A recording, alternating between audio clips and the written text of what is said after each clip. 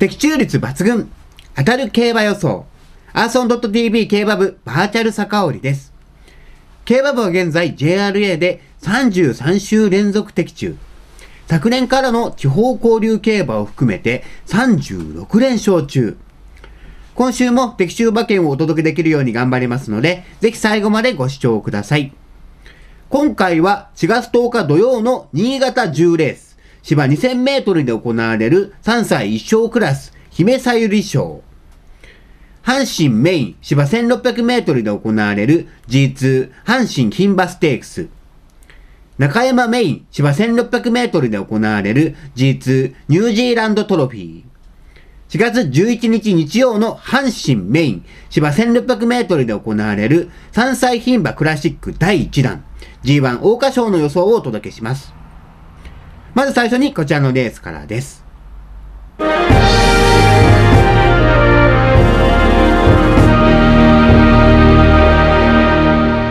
年は7頭立て。競馬部の予想です。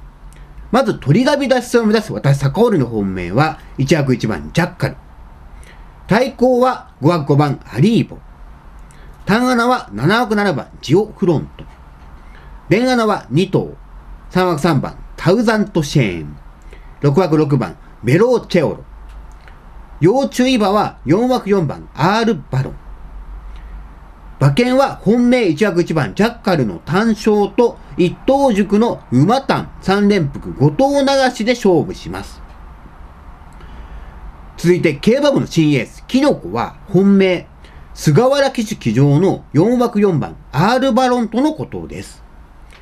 対抗は鮫島勝馬騎手騎乗の7枠7番ジオフロント。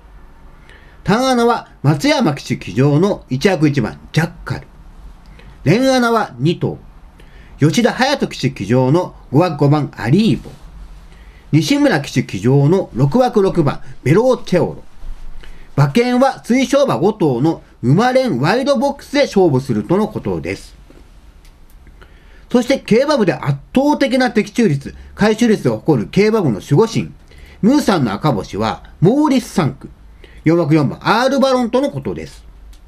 他の馬は、リオンディーズ3区、1枠1番、ジャッカル、ドラメンテ3区、5枠5番、アリーボ、ゴールドシップ3区、6枠6番、ベローチェオロ、ハーツクライ3区、7枠7番、ジオフロント、馬券は赤星4枠4番 R バロンの単勝と一等塾の馬単3連複の4頭流し。そして馬連ボックスで勝負するとのことです。姫さゆり賞の予想は以上となります。お次はこちら。今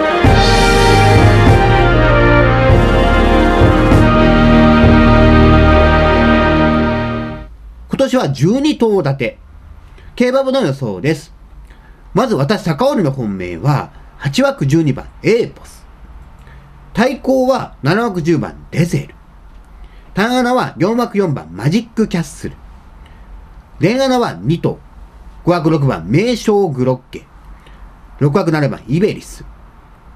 要注意馬は2枠2番、ギルデッドミラー。馬券は本命8枠12番、エーポス単勝と一頭軸の馬単5頭流し。そして推奨馬の枠連ボックスで勝負します。続いてキノコは本命。世界中の騎手の中で一番好きな池添騎手騎乗の2枠2番ギルデッドミラーとのことです。対抗は酒井学騎手騎乗の6枠7番イベリス。単穴は大野騎手騎乗の4枠4番マジックキャッスル。連穴は2頭。ダンの騎士騎乗の3枠3番ブランノワール。川田騎士騎乗の7枠10番デゼル。馬券は本命202番ギルデットミラーの単勝と水晶馬5頭の馬連ワイド枠連ボックスで勝負するとのことです。そしてムーさんの赤星はディープ産駒。4枠4番マジックキャッスルとのことです。他の馬はオルフェーブル産駒。2枠2番ギルデッドミラー、ロードカナロア産駒の3頭、3枠3番ブランノワール、6枠7番イベリス、7枠9番ロフティーフレーズ、ディープ産駒7枠10番デゼル、ジャスタウェイ産駒8枠12番エーポス、馬券は4枠4番マジックキャッスル単勝と一等塾の馬単馬連6頭流し、そして枠連ボックスを購入するとのことです。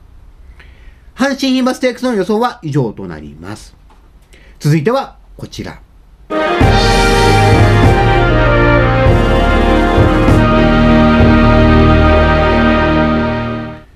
今年は16頭立て、フルゲート。競馬部の予想です。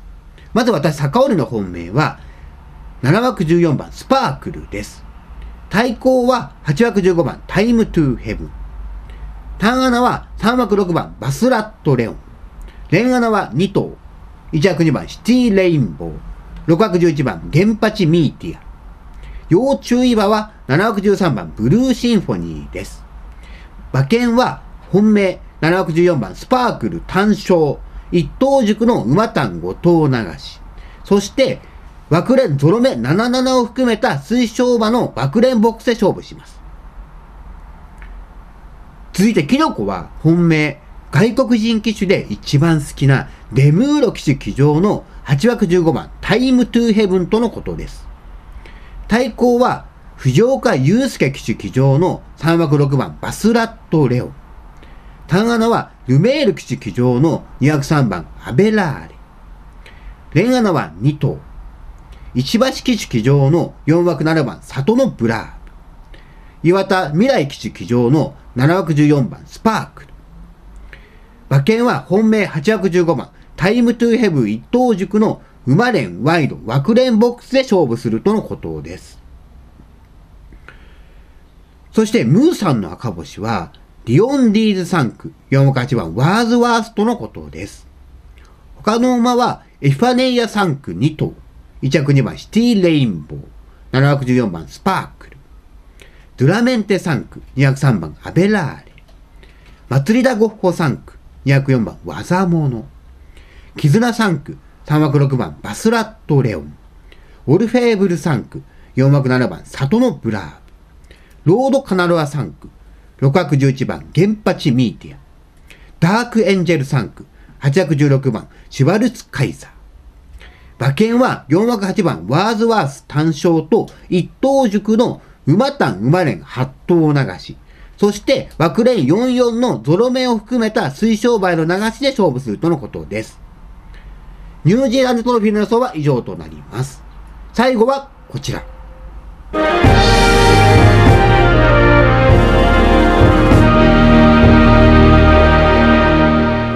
今年は18頭立てフルゲート。競馬部の予想です。まず私、坂織の本命は、3枠5番、赤い鳥の娘。対抗は7枠13番、エリザベスタワー。単穴は7枠15番、シゲルピンクルビー。連穴は3頭。1枠2番、ファインルージュ。3枠6番、ストゥーティー。8枠18番、里のレイナス。要注意馬は2枠4番、ソダシです。馬券は本命3枠5番赤い鳥の娘の単勝と一等塾の馬単3連複6頭流し。そして枠連3377のゾロ目を含めた推奨馬の枠連ボックスで勝負します。続いてキノコは本命。世界中の騎士の中で一番好きな池添騎士騎乗の8枠16番ソングラインとのことです。